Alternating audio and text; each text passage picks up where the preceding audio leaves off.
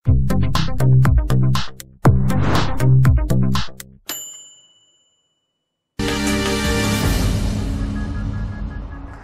الله عليكم مشاهدينا الكرام وأهلا بكم في هذا العرض الإخباري تصحبني فيه بلغة الإشارة عيشتم تعالي والبداية بالعناوين.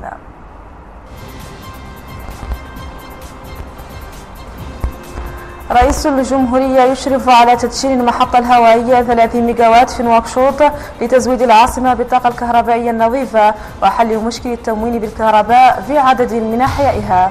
رئيس الجمهورية يضع الحجر الأساسي لفندق شيراتون خمس نجوم ومشروع شبكة شفط مياه الأمطار في بعض مقاطعات العاصمة وسيادته يشرف بمقاطعة واد النجا على تدشين مركز للتدريب على تقنيات التنمية الحيوانية مجموعة واكشوط الحضرية تطلق اسم القوات المسلحة على الطريق الرابط بين المطار والاتحادية الوطنية للنقل.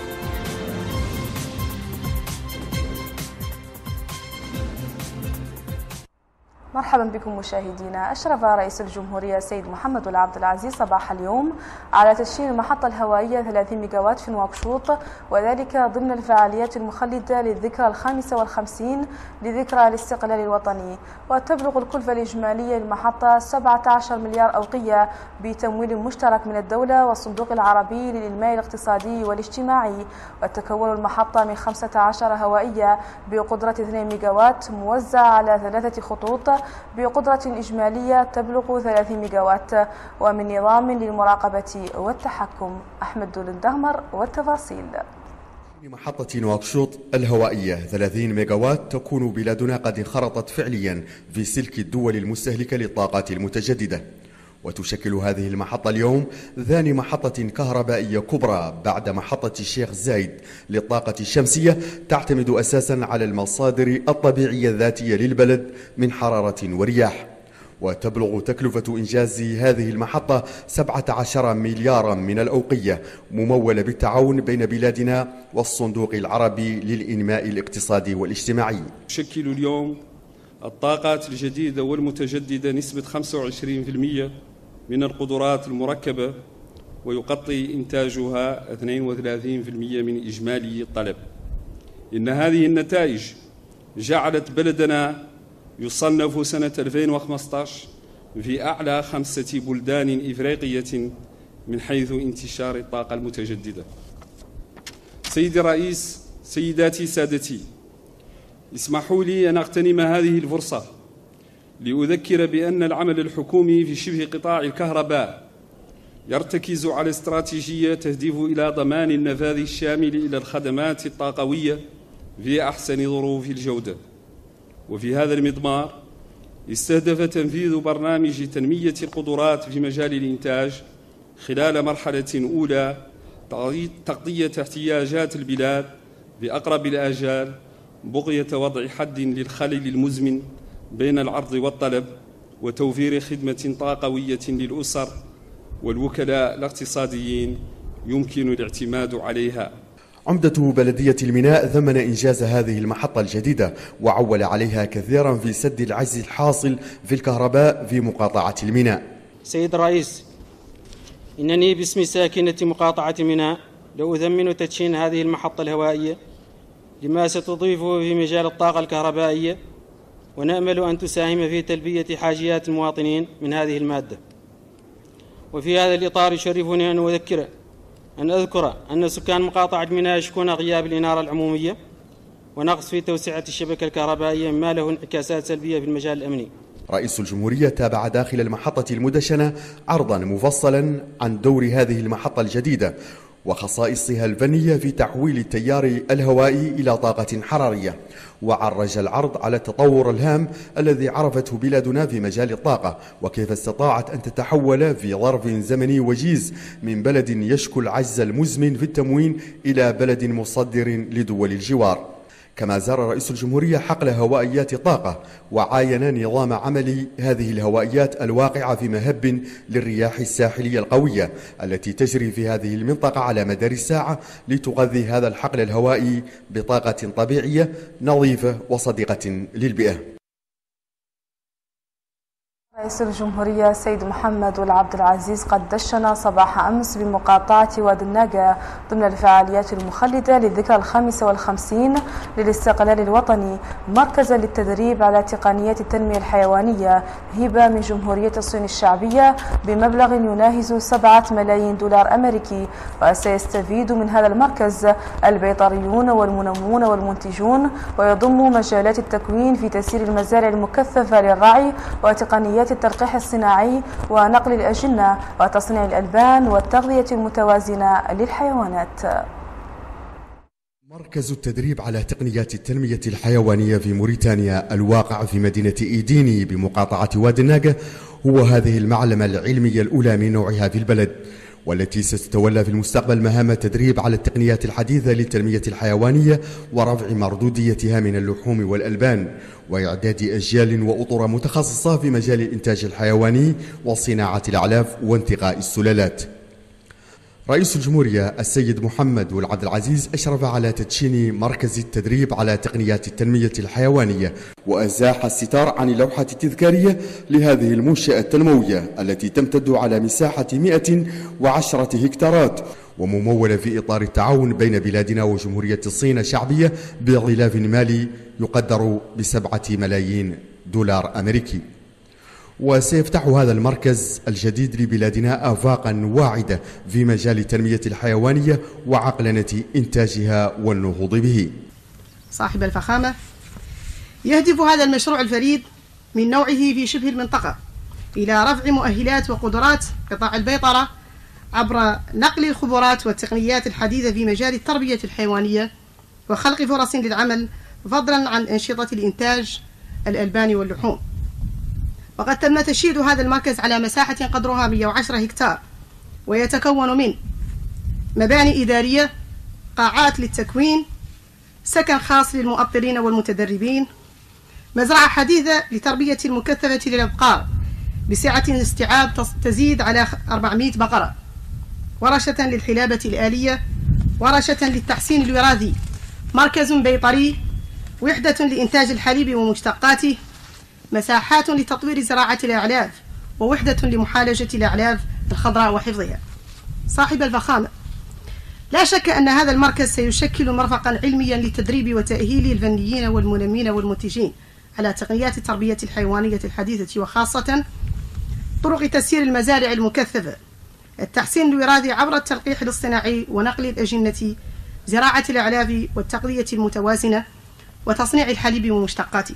Ce centre de démonstration d'élevage سفير جمهورية الصين الشعبية في بلادنا السيد وو دونغ أكد أن هذا المركز يمثل لبنة أخرى في صرح التعاون القائم بين بلادنا وجمهورية الصين الشعبية ويشكل من جهة أخرى ثمرة لهذه العلاقات المتميزة التي تعود اليوم إلى أكثر من نصف قرن.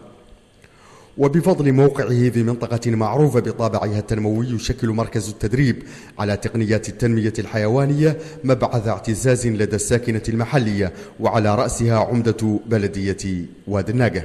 لا شك أن مقاطعة واد الناقة في أمس الحاجة لهذا النوع من المنشآت التي ستساهم في تطوير الاقتصاد المحلي الذي يعتمد على التنمية الحيوانية كما أنه سيخلق فرص عمل نرجو أن يكون سكان إيدين والمقاطعة المستفيدين الأولين منها. وبما أن المشروع يضم مركز تكوين فلا بد من دعم التعليم المحلي بتطوير البنية التحتية الحالية وتوسيعها. وبالمناسبة تم تدشين أمس مدرستين بنيتا بأمر من رئيس الجمهورية فله الشكر على هذا ونرجو أن يتم بناء إعدادية إضافية في حي الفتح الذي زرتموه وكذلك إعدادية في إيديني التي تضم هذا المركز من أجل تدعيم التعليم. رئيس الجمهورية اطلع على مختلف مكونات وتفريعات مركز التدريب على تقنيات التنمية الحيوانية المدشن وتجول بين مختلف أجنحته المتعددة الاختصاصات. واستمع من القائمين عليه إلى شروح تناولت آفاق هذه المنشأة الجديدة وإسهاماتها المستقبلية في تطوير الثروة الحيوانية الوطنية من خلال إدخال التقنيات الجديدة في المنظومة العامة لإنتاجها من اللحوم والألبان. كما وضع رئيس الجمهورية السيد محمد العبد العزيز صباح أمس الحجر الأساس لأول فندق خمس نجوم ضمن سلسلة شيراتون العالمية في نواكشوط وذلك بمناسبة الذكرى الخامسة والخمسين للاستقلال الوطني. وقطع رئيس الجمهورية الشريط الرمزي لهذا المشروع كما زاح الستار عن اللوحة التذكارية المخلدة له واستمع إلى شروح حول مكوناته ومراحل إنجازه والتجهيزات التي سيتضمنها. كما تجول رئيس الجمهورية واطلع على المعدات والآليات المستخدمة في هذا الإنجاز حاثا القائمين عليه على توخي الجودة واحترام الآجال المحددة في دفتر الالتزامات. وستكتمل الأشغال في هذا المشروع بحلول سبتمبر 2017 ويتكون هذا الفندق من ستة طوابق تضم 127 غرفة و39 قاعة للاجتماعات و20 جناحا للشخصيات و12 جناحا لكبار الشخصيات وجناحا رئاسيا. وتبلغ الكلفة الإجمالية لهذا المشروع 60 مليون دولار. ويشكل وضع حجر الأساس لفندق من فئة خمس نجوم والأول من نوعه. يشكل نقلة مهمة في مجال تطوير قطاع الفندقة في بلادنا. وستعزز هذه المنشأة الفندقية البنى التحتية العصرية التي شهدتها البلاد خلال السنوات الأخيرة. تقرير في الموضوع مع الزميلة ميمة متمحمد أحمد خمس وخمسون سنة من البناء والتأسيس اتسع خلالها أفق التبادل بين موريتانيا ودول وشعوب العالم وفرض تحولا في مفهوم الضيافة فأضحت الفنادق فضاء يعول عليه في استيعاب حجم ومستوى تلك الحركية.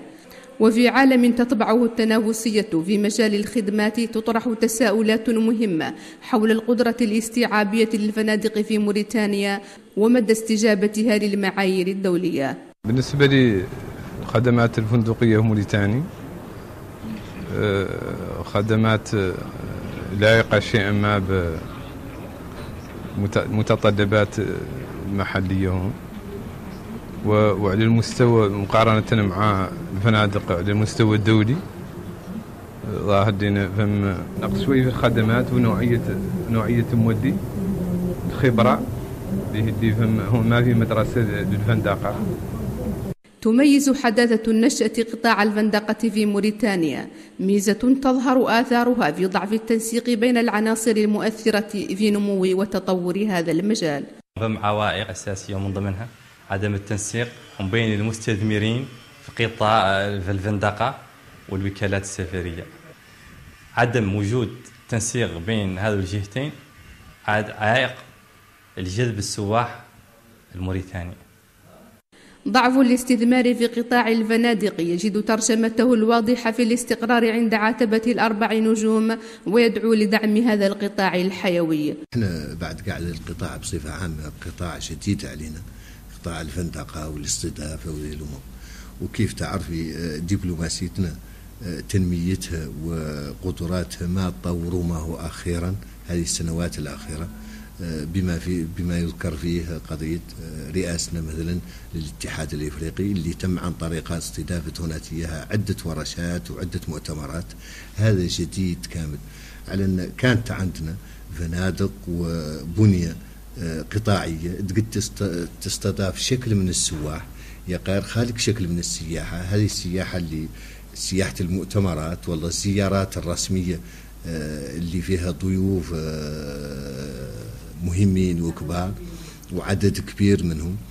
لا بد لها من من تنمية جديدة في قطاع الفندقة. لكن عودوا على مستوى الدول اللي دبلوماسيتهم وسياستهم في نفس المستوى اللي نحن اليوم مستهدفين. وهذا مهم جدا. ويظهر لي على إنه فترة وجيزة إن شاء الله ندور نعود في ذيك المكانة. من باب قدرة استيعاب هذه المؤتمرات وهذه القضايا المهمة. الموقع الاستراتيجي لموريتانيا وارتفاع وتيرة التبادل العالمي عوامل من بين أخرى تضع مجال الخدمات عموما والفندقة بشكل خاص في منطقة الأولويات.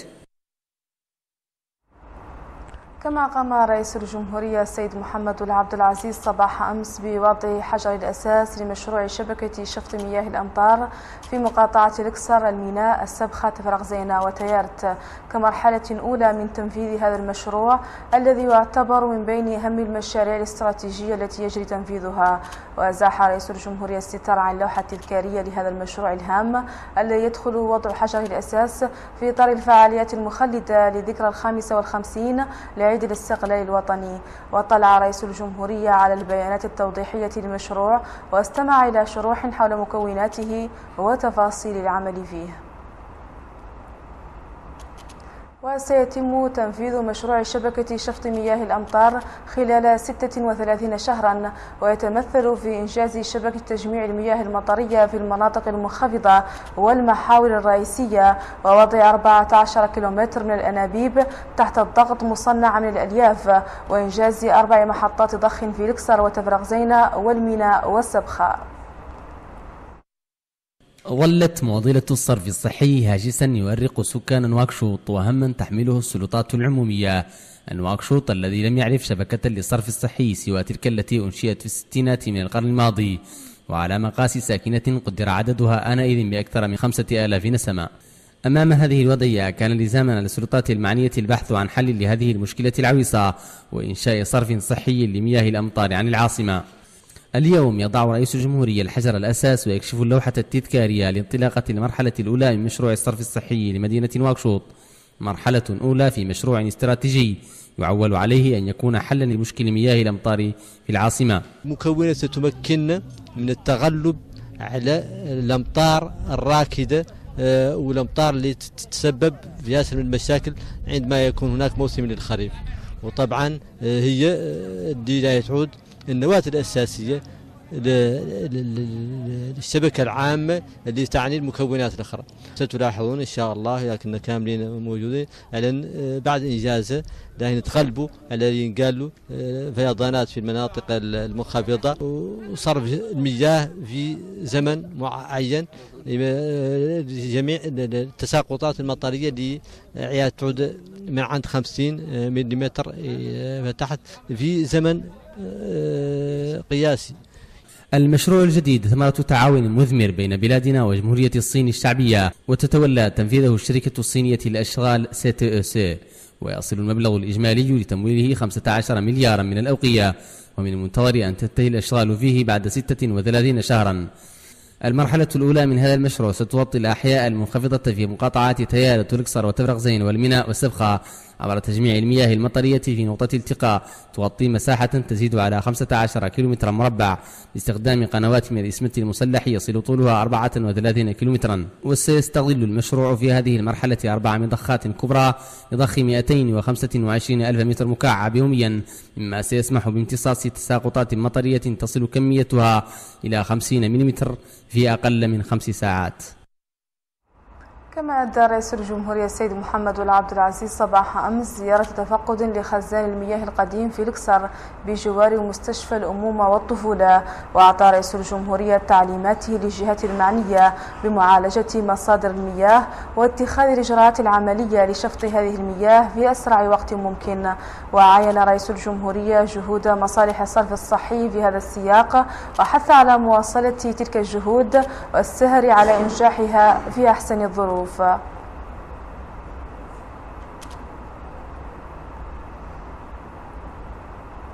ونعود إلى مقاطعة واد الناقة حيث أصبحت هذه المدينة توفر على مدرستين ابتدائيتين بعد سنوات طويلة عانى فيها أبناء هذه المدينة المحاذية للعاصمة من الإهمال والنسيان وغابت فيها المدارس ذوات الأقسام المشيدة عن معالم المقاطعة.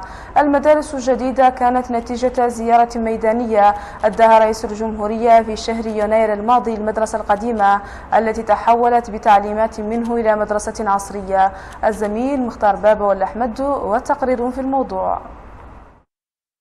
ليست هذه مسيرة احتجاج ولا هو خروج عن المألوف بل هي صور من أرشيف الأخبار لاستقبال عفوي كان رئيس الجمهورية سيد محمد العبد العزيز موضعا له في مقاطعة وادناقة عندما قرر يوم السابع من شهر يناير الماضي الاطلاع عن قرب وسيرا على الأقدام على الوضعية المتردية آنذاك للمدرسة الوحيدة في حي الفتح. زيارة وادناقة أو زيارة التعهد والوفاء كما يحلو للسكان تسميتها اليوم أنقذت أجيالا براء كاد أن يضيع مستقبلهم لا لذنب سوى أنهم ولدوا وتربوا في هذه المدينة. وكان لا بد من تعليمهم حتى ولو أهملتهم الأنظمة السابقة وحتى لو استدعى ذلك حشرهم جميعا في غرفة ضيقة. لا تتسم بأبسط المواصفات المطلوبة ولا تتسع حتى لدخول ضيف يريد التغيير مثل رئيس الجمهورية الذي اكتفى بنظرة خاطفة وتحية من الباب وتلويحة باليد.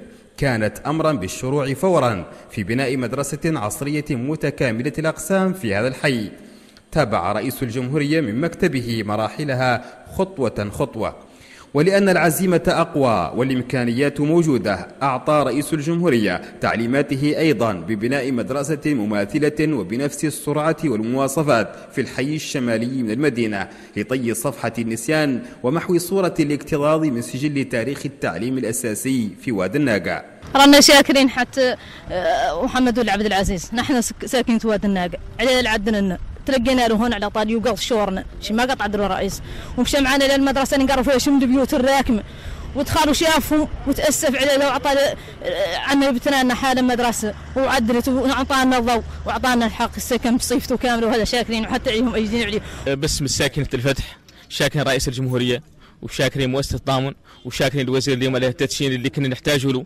به اللي لبنى كانت قاعد على تبيات ويشكينا أكثر مرة. ما فهم ما فهم ما فهم سياسي قد يقرر فينا شيء ولا فهم رجل أعمال يقرر فينا. هذا معدة الدولة تتويجا لجهود الساكنة فقط. وهكذا وبعد أقل من خمسة أشهر من الزيارة اكتمل بالمقاطعة بناء المدرستين وقطع وزير التهذيب الوطني رفقة المدير العام لوكالة التضامن الشك باليقين بأنه فعلا أنجز حر ما وعد. أطلقت مجموعة نواكشوط الحضرية أمس اسم القوات المسلحة على الطريق المعبد الرابط بين ملتقى طرق المطار والاتحادية الوطنية للنقل وذلك بمناسبة عيدي القوات المسلحة والاستقلال الوطني. ونظمت مجموعة نواكشوط الحضرية بهذه المناسبة حفلا حضره وزير الداخلية واللامركزية والدفاع الوطني وقائد الأركان العامة للجيوش وقائد أركان الدرك والحرس الوطنيين وقائد التجمع العام لأمن الطرق ووالي نواكشوط الغربية والشمالية. القوات المسلحة اسم اختارته مجموعة واكشوط الحضرية للشارع المعبد الرابط بين ملتقى طرق المطار والاتحادية الوطنية للنقل تقديرا منها واعترافا بمجهود وتضحيات قواتنا المسلحة التي كانت وما زالت وستظل بحول الله العين الساهرة والدرع الحامية لحمى الوطن. تحل هذه الذكرى علينا اليوم ونحن نرذل في حلة من الأمن والأمان. لم تتحقق إلا بفضل الله ثم بجهود وتضحيات قواتنا المسلحة التي ظلت العين الساهرة والدرع الحامي لحمى الوطن والصخرة التي تحطمت عليها مآرب الإرهاب أيا كان مصدره. معالي الوزراء قادة أركان مختلف الأسلاك أيها الحضور الكريم. إن حرص فخامة رئيس الجمهورية السيد محمد العبد العزيز على تحديد وتجهيز الجيش الوطني بكل ما يحتاجه من مستلزمات وعتاد لتمكينه من أداء دوره على أكمل وجه وجعله قادرا على التصدي لكل من تسول له نفسه المساس من أمن ووحدة أراضينا وجعله فخرا لكل موريتاني ليعتبر عملا وطنيا ساميا في معانيه ومضامنه وعرفانا منا بالجميل لهذه القوات المسلحة وتثمينا لدورها العظيم. يشرفنا من خلال هذا الحفل البهيج أن نطلق اسم القوات المسلحة الوطنية على الشارع الرابط بين ملتقى طرق المطار والاتحادية الوطنية للنقل والله أسأل أن يمن على وطننا بالأمن والاستقرار وأن يجنبه الشر والانزلاق وأن يبقيه منارة للسلام والإسلام والتنمية والاستقرار. اسمحوا لي أن أتوجه بهذه المناسبة الكريمة بتهانئي وتبريكاتي الخالصة للقائد الأعلى للقوات المسلحة فخامة رئيس الجمهورية السيد محمد عبد العزيز ولقادة أركان مختلف الأسلاك ولجميع الضباط وضباط الصف والجنود ولكل الشعب الموريتاني بمناسبة ذكرى تأسيس الجيش الوطني وذكرى الخامسة والخمسون لعيد الاستقلال المجيد. الحفل الذي حضره وزيرا الدفاع الوطني والداخلية واللامركزية وقائد الأركان العامة للجيوش وقائدا أركان الدرك والحرس الوطنيين وقائدو التجمع العام لأمن الطرق جاء في إطار الاحتفالات المخلدة للذكرى الخامسة والخمسين للاستقلال الوطني وذكرى تأسيس قواتنا المسلحة الوطنية. ونتحول إلى أقصى شرق البلاد حيث أشرف وزير الدفاع الوطني رفقة قائد الدرك الوطني بولايات الحوضين والعصابة على تدشين مقرات جديدة للدرك الوطني في عدد من المناطق بهذه الولايات. تأتي هذه التدشينات في إطار تقريب خدمة الأمن للمواطنين ومواكبة الاحتفالات المخلدة للذكرى الخامسة والخمسين لعيد الاستقلال الوطني. هم يفرحون. في العشر الأواخر من نوفمبر فرحة مزدوجة بالاستقلال وبتدشينات الاستقلال. هذا المقر الجديد لفرقة الدرك الوطني في بوسطيل. ألهب تدشينه مشاعر السكان الذين حظوا بهذه العناية مع تدشين واحد من أهم المراكز الأمنية على تخوم الحدود الشرقية للبلاد. إنشاء وحدة عسكرية تقوم بحفظ النظام بعناصر ثلاثي الأمن والاستقرار والسكينة العامة. هذه حقا أهمية ذات شأن كبير وتذكر لحساب النظام. جيد عندنا حتى وفي صالحنا وفي صالح مواطنينا ومرحب ورانا شاكرين الرئيس السيد الرئيس محمد عبد العزيز. على الجهود اللي قام بها شعورنا بهذا الجيش اللي إن شاء الله يعمل مولانا يشد لنا الشادين ونعرفوا انه ذا اللي معدل هو هو الرشا.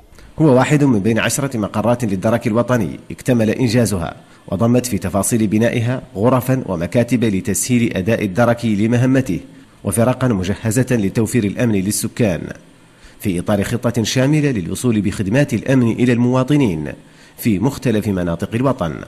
إن هذه الإنجازات الهامة تدخل في إطار تطبيق السياسة العامة لرئيس الجمهورية إن رئيس الجمهورية عمل دائما على وضع الإدارة والقوات الأمنية قرب المواطن وحمايته.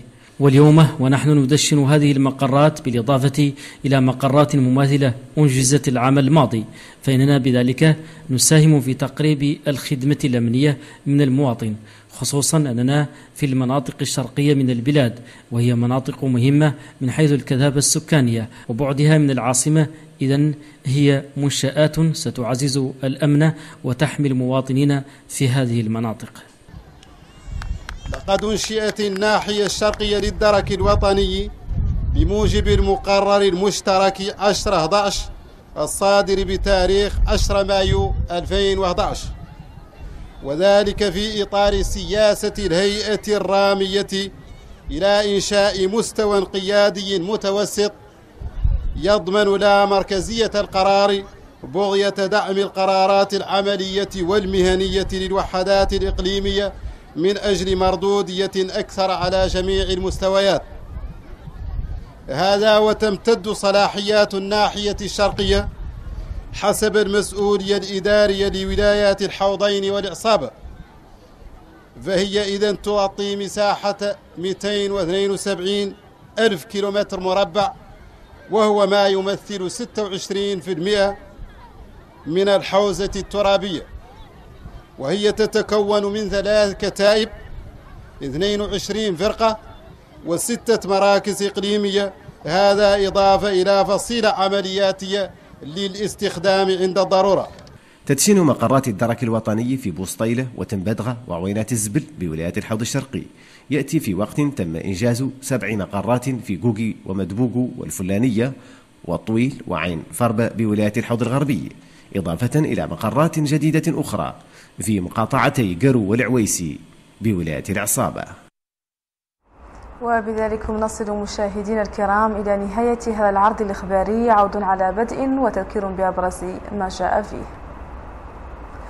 رئيس الجمهورية يشرف على تدشين المحطة الهوائية 30 ميجاوات في نواكشوط لتزويد العاصمة بالطاقة الكهربائية النظيفة وحل مشكل التموين بالكهرباء في عدد من أحيائها. رئيس الجمهورية يضع الحجر الأساس لفندق شيراتون خمس نجوم ومشروع شبكة شفط مياه الأمطار في بعض مقاطعات العاصمة وسيادته يشرف بمقاطعة وادي الناقة على تدشين مركز للتدريب على تقنيات التنمية الحيوانية. مجموعة نواكشوط الحضرية تطلق اسم القوات المسلحة على الطريق الرابط بين المطار والاتحادية الوطنية للنقل. دمتم في أمان الله مشاهدينا وإلى اللقاء.